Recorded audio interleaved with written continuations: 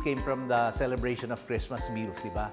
And more often than not, we have very delicious but very unhealthy food. So what we're going to do now, we're going to go healthy. We're going to go seafood. At least two of the dishes I'm preparing are seafood dishes. Now, every time I go to a Chinese restaurant, the first thing I order, so sweet and sour pork, I have to order that. And to me, the sweet and sour pork or the quality of their sweet and sour pork will, will tell me if the restaurant has good food or not. Number two, the one I order is salted fish fried rice. I love salted fish fried rice. Now, over the years, in very good Chinese restaurants, this is a dish that I always look for. This one is called hot shrimp salad. It's savory and sweet and all that, and I'll show you how to make this. Our hot shrimp salad is made of simple ingredients. We have half a kilo of large, clean shrimps or swahe, and also salt, pepper, sugar, cornstarch, oil, mayonnaise, condensed milk, sugar, and drained fruit cocktail. Now, the way to start this is we're going to mix pepper and salt and sugar, okay, and cornstarch, a little cornstarch. Salt, pepper, sugar, cornstarch, okay. And I have here swahe, yung big shrimps that I peeled and I cleaned, I removed the vein and everything. So what I'm going to do is just mix all of these together very, very well. Mix it with the shrimps. Okay. Okay. Now, okay, if you'll notice the, the back is cut because the veins were removed. Okay. Then we add in our cornstarch. Okay. This is going to add a coating to the shrimps that will make it crispy.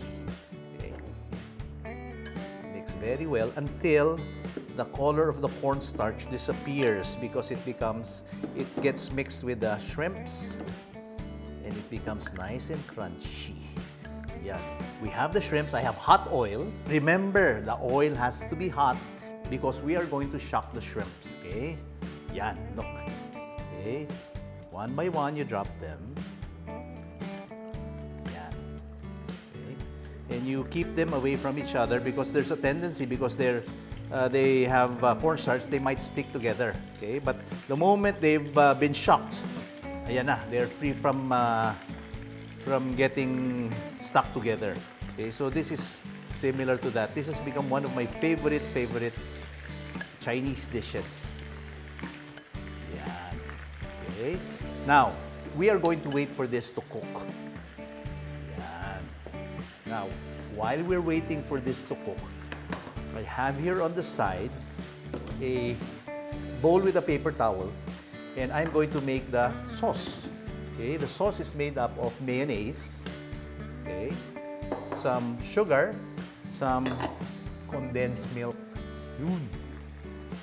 Diba? Condensed milk.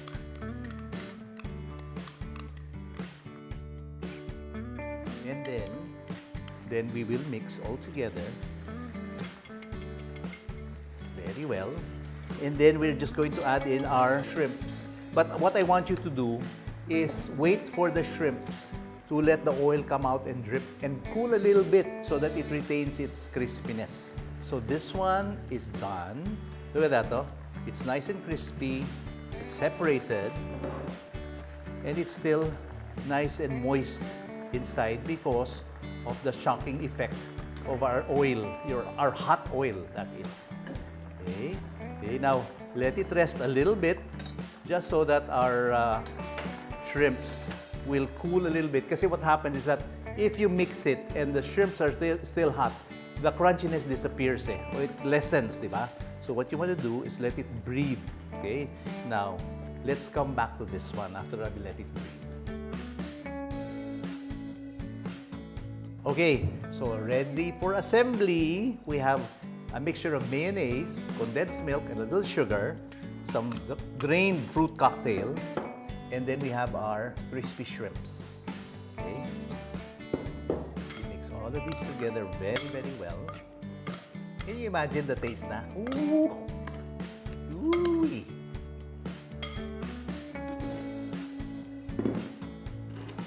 Look at that, huh?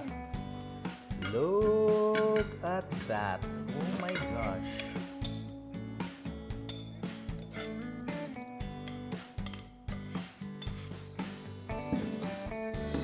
So good.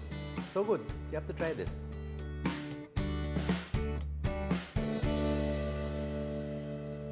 So when I pour the hot oil, I want the, the hot oil to cook also the cilantro. Ayan na. Okay, so what going to do is get this hot oil and pour it on the fish. Yan. Yan na yung ano niya. That's the soup na. My recipe for Chinese steamed fish is coming up on Casa Daza.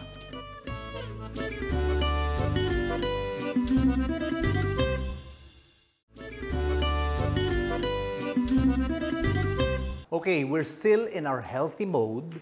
So we're going to make a very popular dish also in Chinese restaurants, especially mga oldies. They love this kasi healthy. It's steamed fish. You can get or you can use any kind of white flesh fish or white uh, meat fish like halibut, sole, but you know, this is the traditional one. So we're going to use lapu-lapu. We are using half a kilo of lapu-lapu or sole fish and then we have half a cup of ginger wherein I cut half into thin strips and the other half is cut into thick strips. Other ingredients include a cup of spring onions cut into 2-inch long pieces, some chopped cilantro, cooking oil, soy sauce, chicken stock, sugar, and sesame oil. Okay, so what we will do with the fish is we will just put slices just so that the, the flavors will penetrate on both sides. Yan. Okay. You remove the scales, of course.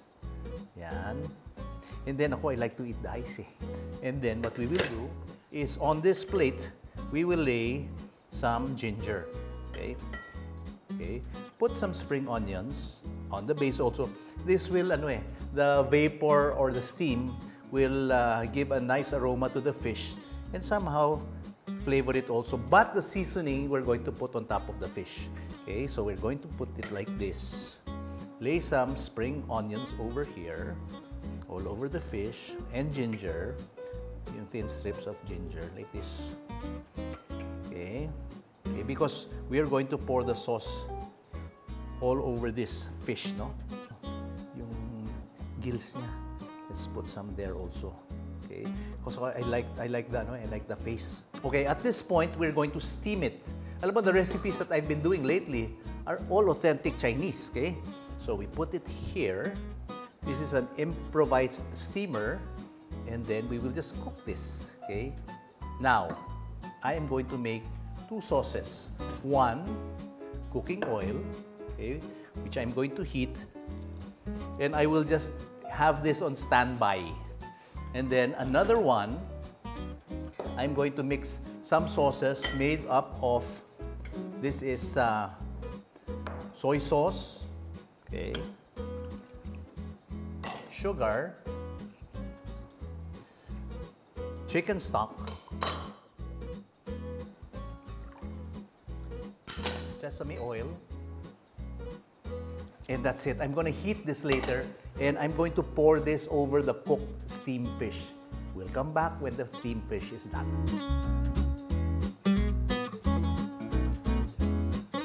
After about mga 15 minutes, no? Check our fish. Oh, it looks like it's done. See, look at the ano, no, the fish. There are mga parts that are dripping already. So let's test it, yung firmness. Oh, pwede na to. Woo! Okay, so what we will do then is turn off the heat. Okay, and get the fish. Okay, look at that. Okay, now we're to set this aside and I'm going to make the sauce. Okay, I'll come back to this one. What I'm going to do, I have, you still remember, I have some leftover ginger and spring onion. These are not cooked. Okay, I'm just to put it on top. And then you remember the soy sauce mixture that I did kanina. Okay, I'm just going to heat that Okay, just heat that. And I have here, I have cooking oil also, hot cooking oil. Okay, so I have here, I'm just going to heat this up a little bit and I'm going to show you what I will do. Actually, the sauce is is going to be poured over the lapu-lapu, the steamed lapu-lapu. And then what I'm going to do finally is pour the hot oil on that and it'll cook the ginger and the spring onions and all those flavors are going to blend in. And then you have the sauces on the side also. It's going to be really good. This is going to be really good. Okay, there, it's starting to bubble. By the way, I'm going to put a little cilantro na. Okay? Put a little cilantro because when I pour the hot oil, I want the, the hot oil to cook also the cilantro. Ayan na. Okay, so what you're to do is get this hot oil and pour it on the fish. Yan. Yan na yung ano niya. That's the soup na. And then the cooking oil, galit na siya. It wants to be poured. Look. Yan. You see? That hot oil was cooking the spring onions and the ginger and you just have it like this. This is so healthy, it's delicious. This is the type of meal na parang after all those unhealthy, delicious Christmas meals, this naman, less guilt naman ito. Then we just top it with some cilantro. Okay? That's it. So this is your steamed fish. Sarap yan.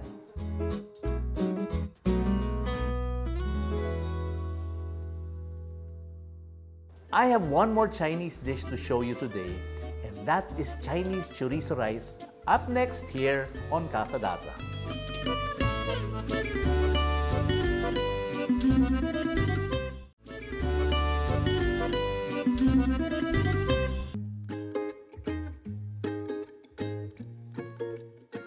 This ingredient has become part of a my kitchen repertoire. So this is a kitchen staple in my at my home, no? Chinese chorizo. I love Chinese chorizo. And you know what? Before I used to get my Chinese chorizo from Hong Kong, meron silang uh, goose uh, dry uh, chorizo and they have their pork one. But you know what? Cebu makes a very good version of it. Anyway, I'm going to show you how to make a simple sinaing and mix ulam with it. This recipe calls for 2 cups of rice with 3 or 4 cups of water, 1 chicken cube, a cup of sliced mushrooms, and 3 pieces of Chinese chorizo cut into very thin slices. We can also eat more chorizo with this dish because why not? So prepare 6 pieces of Chinese chorizo that is also cut into very thin slices then 1 cup of onions sliced into rings, and some white vinegar. So, what I'm going to do is I have cleaned rice. Yan. Some people, what they do is they get the, the hugas bigas, what they used to clean the rice with, and they make sinigang. Okay? And then we put water. Now, for most rice, it's 1 is to 1. But with this, because there's the moment you put a little uh, solid with the rice, I noticed that uh, you have to put a little more liquid. Sa paella, ganyan. It's not one is, one is to one. But, you know, put your finger in. Typical, di ba? Yun. That line, di ba? You know, any kind of rice, you can use the one you use when you make sinaing. But let's say a long grain rice, you that requires more more liquid eh. So, but this one is my ordinary rice that I use at home. So I'm going to add some mushrooms. Use your imagination. You put what you want to put. Okay. Mushrooms. Okay. And then Chinese, sliced Chinese chorizo. Now, one thing about this though is that you're just going to cook it like you're cooking rice, di ba? And then one chicken cube, by the way. Okay? Now, yung chicken cube, optional yan because the drippings from the Chinese chorizo alone is going to flavor the entire rice. But what I want you to do is when you turn it on, after about 15-20 minutes, I'm going to mix the sausage and the mushrooms. What happens is when it starts uh, boiling, the sausage or the so solids will flow to the top. I don't want that. You can serve it that way also, but I want to mix it. And by that time, the chicken cube has melted already, so I want the flavors to spread around. Now, one thing that you should know, every time you cook something with uh, solids like the sausage and the mushrooms, it's not going to take the same time like making saing. Diba? Like cooking rice, it's going to take longer. So you have to be a little bit more patient than usual. When cooking rice, you want 20 minutes, you're done. Ito maybe 30, 40 minutes yan, you know? Because I guess the rice cooker is having a more difficult time. Okay, so we're gonna leave this and I'll show you how what this looks like later. Now, the other dish. Okay, ito, this I, I do this um, you know, you have to think of different ways to make cooking exciting for your kids, no? So I do this for breakfast for my kids and they love this. We are going to put some vinegar. Yan. And then, with the vinegar, we're going to put some Chinese chorizo. Okay? Yeah. Now, what I do here is I let the vinegar steam and cook the Chinese chorizo. And when the vinegar evaporates, the oils of the Chinese chorizo will come out, di ba? Then you start sauteing in that, di ba? Earlier, when you saw the Chinese chorizo was not that hot yet, di ba? If you noticed, there were white particles in it. That's fat, no? The moment you put heat on it, the fat disappears and it just turns pure red. Now, most of the vinegar has evaporated and the oils from the Chinese chorizo have come out. Look at this. Oh my gosh. Trust me, this is so... And the Chinese chorizo, depending on how thick it is, they curl. Okay? Yeah, look at that. Now, the oils have come out. Now, I like to mix my Chinese chorizo with raw onions. Okay? It's really up to you. So, if you want it raw, you serve it like this. Or you want to cook it a little bit more. It'll be fine also. You wait for the onions to cook a little bit. Oh, I love the smell. I love the smell. The moment it's nice and wilted, okay, you don't have this for breakfast, they will love this. Yum. Look at that. This is done. I'm going to show you what we will do with uh, steamed Chinese chorizo and rice after about 10 minutes. Okay, that this one is done though.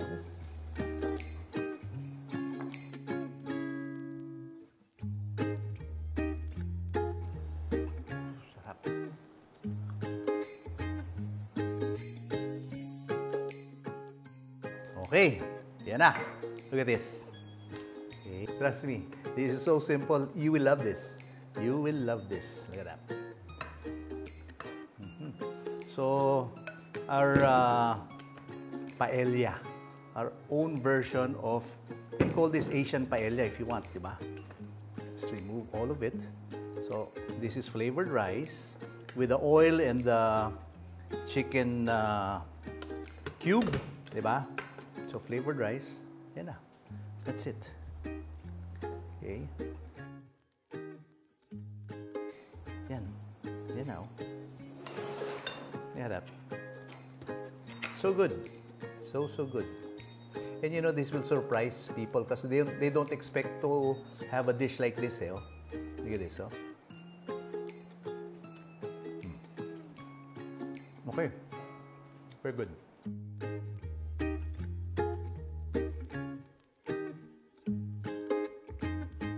We're done. Steamed lapu-lapu. We have a delicious shrimp salad. And I have two simple Chinese chorizo dishes.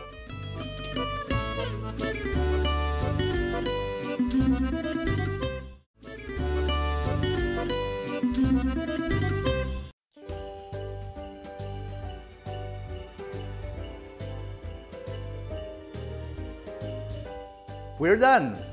Steamed lapu-lapu.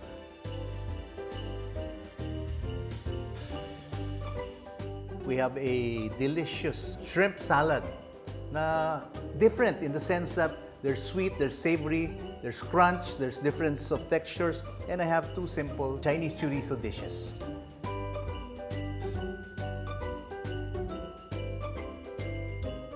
You have to try all of these at home. You saw how I did it? Very simple. You have to try this, okay? Look at this. Something different, healthy, it's delicious. See you again. Happy holidays!